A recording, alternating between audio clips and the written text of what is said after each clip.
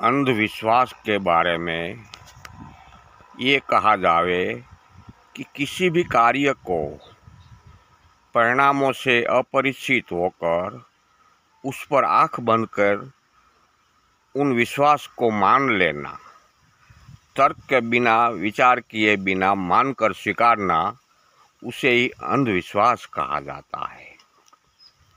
कोई भी चीज़ को जाने बिना कोई भी थियरी को तथ्यों तपासे बिना, वो थियरी को मान लेना, वही अंधविश्वास है।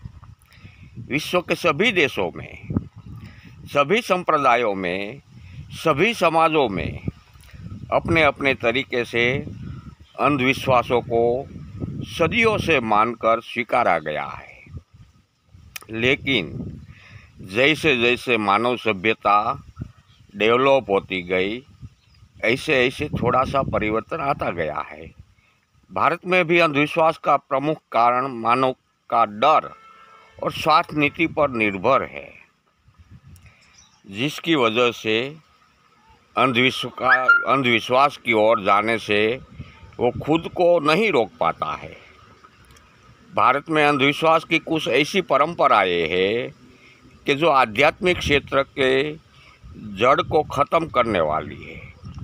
वो आध्यात्मिक क्षेत्र की जड़ को ख़त्म करने में ज़्यादातर आध्यात्मिक मानव ही लगे हुए हैं।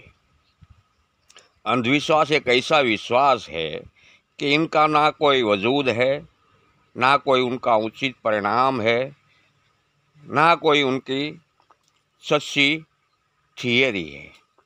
सिर्फ़ और सिर्फ़ मन गढ़ित विचारधारा से जुड़ी हुई थियरी है और कवियों और लेखकों के मनगढ़ित विचारधारा की ये नॉवेल कथाओं है।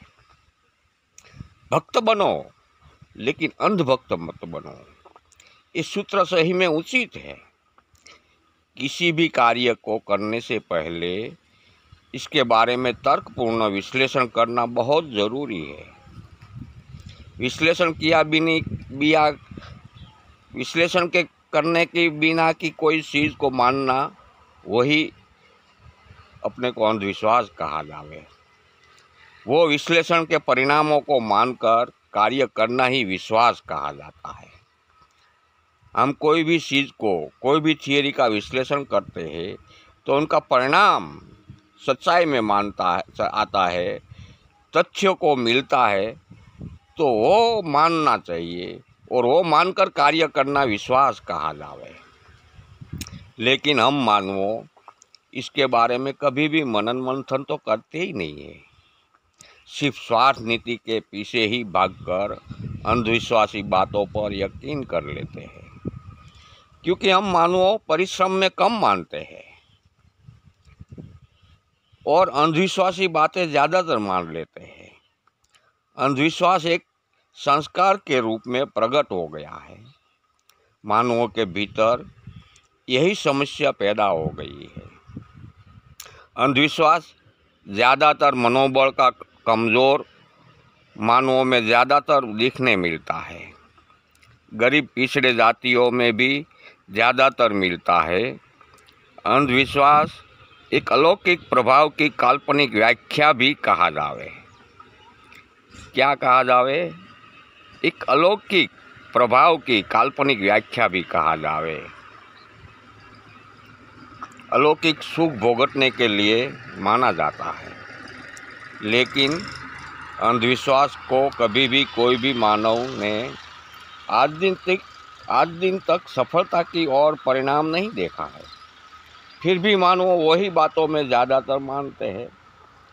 वहाँ हमारा मानना हमारा ही मनन मंथन का अभाव कहा जावे मनन मंथन या तो तथ्यों से ही नहीं मिलने वाली बातों को कभी मानना कभी स्वीकारना नहीं चाहिए तथ्य को तपासो मंथन करो बाद में वो बात को मानना चाहिए जब तक धर्म के साथ अंधविश्वास जुड़ा है तब तक सही धर्म सही राह सत्य क्या है असत्य क्या है वो किसी को सभी से दूर रहता है। मानव, स्थूल जगत के लिए तो बहुत ही डेवलप हुआ है मानव का मन।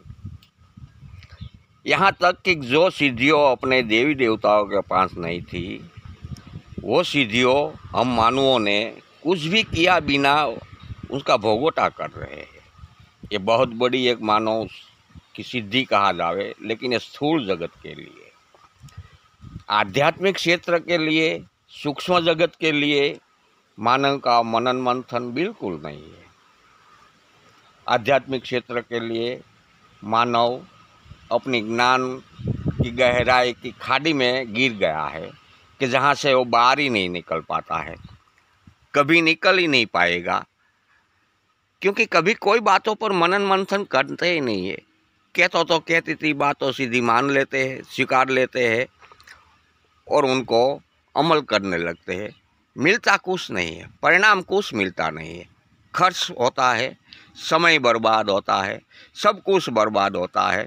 अंत में थक कर दूसरी थियरी को पकड़ते हैं, वहाँ भी यही होता है। चारों तरफ़ मानव इधर उधर इधर उधर इधर उधर, अंधविश्वास की लाई में कुछ किए बिना, कुछ हासिल करने की लाई में भटक रहे हैं। लेकिन सभी बाबतों में मानवों को मनन मंथन करना बहुत अवश्य है। मनन मंथन किए बिना कोई चीज़ हमको स्वीकारनी नहीं चाहिए।